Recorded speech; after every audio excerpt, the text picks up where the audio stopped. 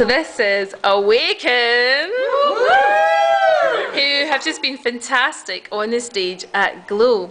And they're going to introduce themselves to you. So we'll start here with Sarah. I'm Sarah, and I sing in the band.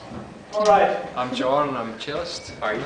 Well, uh, well, tonight I played guitar as well, but I'm normally a cellist. Full-time stud. I'm Mark, and I'm the guitarist slash singer. I'm Vicky and I'm the violinist slash. I, I am Mark and I'm the bassist. I'm Callum, and I am a drummer And slash they've, florist. they've, they've just came off set, okay, so that's why yeah, Callum I'm looks sweaty. I don't like sweat this much in real life. that. But that's up to you to believe that or not. Right. So, I'm struggling to get you all in the camera here, so I'm going to be back. Right. Mark, you kind of lead up a lot of things in the group.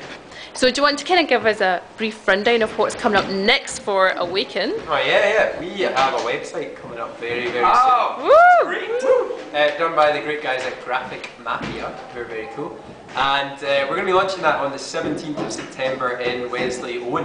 Uh, we're going to do an acoustic night. Adam Baker is going to join us for that Yeah, too, that's cool. which is great. So we're doing that. We're up at National Youth Assembly on the 2nd of September there, and uh, then we'll just tour.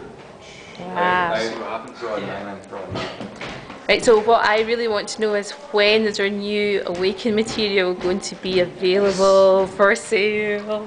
Well, it's, uh, it's in the works. Uh, it might not be in, it might not be 2011, but definitely 2012. Um, we'll have the album recorded. Fantastic. That's a commitment now. Yeah. It is, it's It's down. a CD exclusive. Only to our fans. I need a CD. Actually, I well, to hold me to this. yes. we didn't even know this actually. This is the Yeah, first we've I know. Well, There you go. Organisation been on my skills. mind. It's been See? on. E to CD brings you the cutting edge information. Okay, thanks very much, you guys. I'm going to let you go because Sarah has to go and catch a train to Edinburgh. See you later. Bye.